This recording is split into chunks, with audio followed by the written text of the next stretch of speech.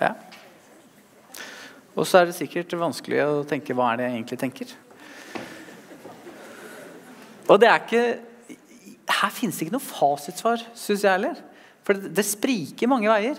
Men det som går an å ikke si fasitsvar, men i hvert fall det går an å kvantifisere, det er faktisk hvordan undervisningen i norske klasserom har endret seg på 15 år.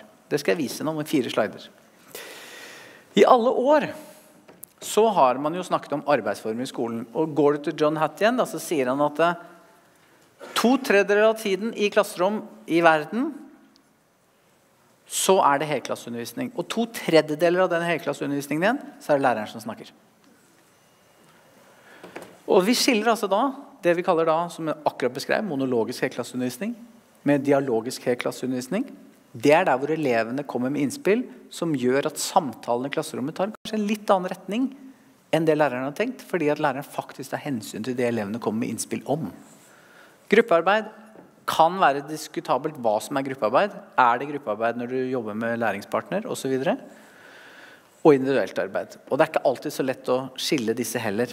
Ikke minst fordi at vi nå, og det tror jeg er veldig positivt, har fått fokus på læringspartner. Men dette er liksom fire klassiske kategorier som har gått igjen i det vi kaller klasseromsforskning. For 15 år siden så gjorde Kirsti Klette og en del kollegaer et prosjekt etter PISA-sjokket i 2000 som måtte finne ut hva er det egentlig som skjer i norske klasserom. Og Da fant de egentlig Hattie-modellen. Altså De finner 56% helklasseundervisning, 30 eh, individuelt og 14% gruppearbeid. 2004-2005, rett før Kunnskapsløftet. Og det den her sier, det er vel rett og slett at den modellen som Hattie mener har pågått i 100 år, den er sånn cirka. Fremdeles akkurat sånn. I 2008-2011 så gjorde man et prosjekt som heter 'Sammenhengen mellom undervisning og læring'. Det ble da SMUL. Og Da finner vi altså nesten på prosenten det Hattie har påstått om norsk og internasjonal undervisning i 100 år.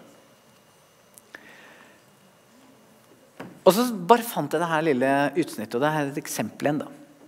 Jeg vil jo si at det ble mer variert undervisning når vi fikk iPad. Før så var det sånn at du måtte lese i bok og så gjøre oppgaver. Eh, så hadde vi jo noen ganger sånne videoer på lerret, og sånn da, men det var mye tavleundervisning å lese i bok og skrive i arbeidsboka. da. Sånn, det som er artig med dette prosjektet, er at disse 140 elevene alle sammen kan huske tilbake til hvordan på en måte skolen var før. og noen, For noen var det to år siden iPaden kom, og for andre var det faktisk fem år siden iPaden kom. Når jeg drev på intervjuet de. Og så er det selvfølgelig annerledes å gå i tredje klasse enn i åttende klasse. Men allikevel så syns jeg liksom, det her avspeiler ganske mye hva elevene sier om variasjon. Men hva betyr variasjon når vi ser på det i disse fire kategoriene med forskerøyne? Vel, i Ark-app-prosjektet så begynte vi å skille mellom helklasseundervisning med monologisk og dialogisk. Så hadde vi ganske mye mer gruppearbeid, og så hadde vi noe individuelt arbeid. Og Det er nok litt fordi at når du plukker ut skoler, eller når skoler på en måte ønsker å være med i sånne prosjekter, så er de mest sannsynlig litt mer progressive enn naboskolen. Så det sier ikke noe mer egentlig enn det. Og Det tror jeg også gjelder G-prosjektet. For det er klart at der er vi ikke på gjennomsnittsskoler. For vi går til fem skoleeiere så sier vi kan dere velge to ungdomsskoler og så velger skolelederen to lærere, og så er det de klasserommene vi går inn i. Men da ser kaka sånn ut.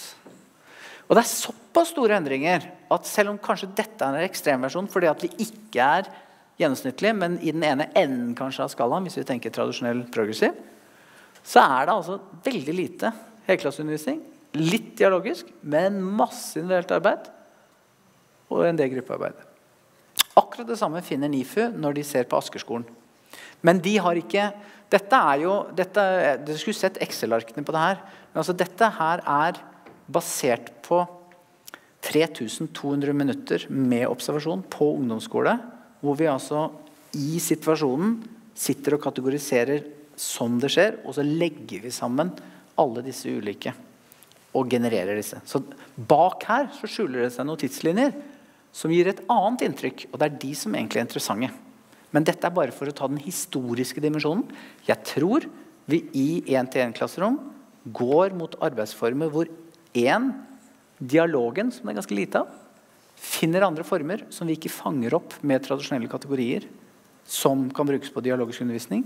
To, at det blir mer gruppearbeid og individuelt arbeid. Men at ikke nødvendigvis dette individuelle arbeidet er håper jeg, monologisk, at de er inni bare sin egen maskin, men at de også er, kommuniserer mye på digitale flater.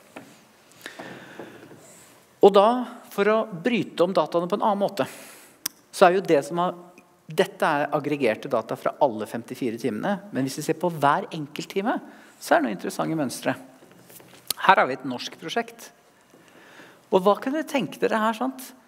Her er det veldig mange måter å være elev på. I starten her så er det læreren som sier noe i sju minutter. Sju minutter står det der. Og så sier læreren nå skal dere jobbe individuelt, og det skal dere gjøre i 27 minutter. Så sier læreren noe i 11 minutter igjen.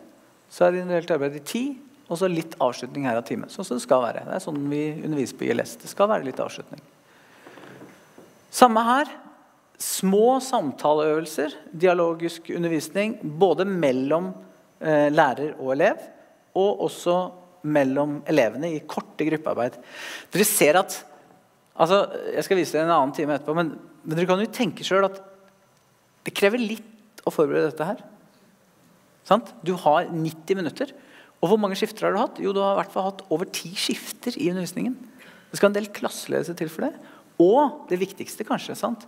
Når var dette her et digitalt klasserom, og når var det egentlig et vanlig klasserom?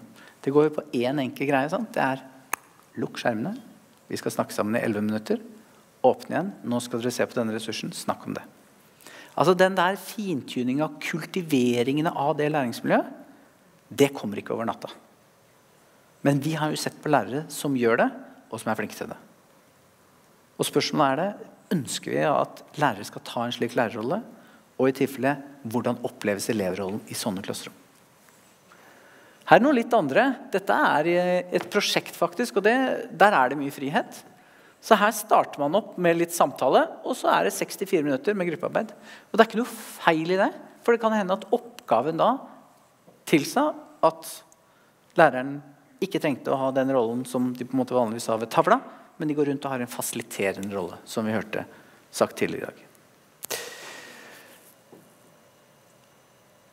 Så da har jeg egentlig lagt opp til disse spørsmålene. Hva slags elevrolle er det mulig å ha i de arbeidsformene vi har sett i GEP-prosjektet? Hvilke utfordringer møter elevene når de ikke bruker tradisjonelle læremidler? Hvilken rolle får læreren i disse klasserommene?